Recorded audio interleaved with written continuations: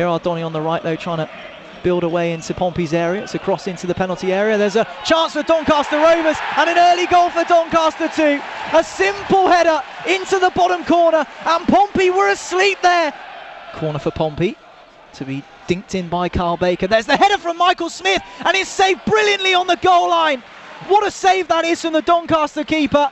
Went, looking to try and win a free kick and uh, did it right in front of the referee. Here's Bennett. Plays in Kal Naismith on the edge of the box. Naismith in space. Oh, yes. Naismith equalises for Pompey.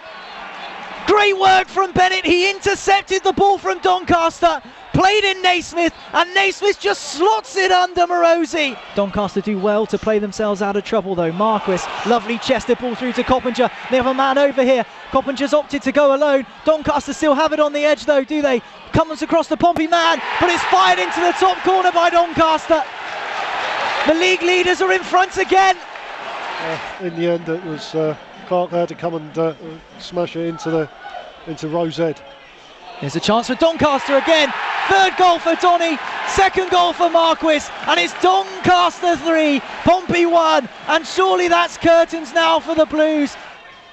Nice ball out onto this right hand side. Gareth Evans now has it. Ball into the box. Smith's there. Lalkovic there. Good save by Marosi and out for a corner.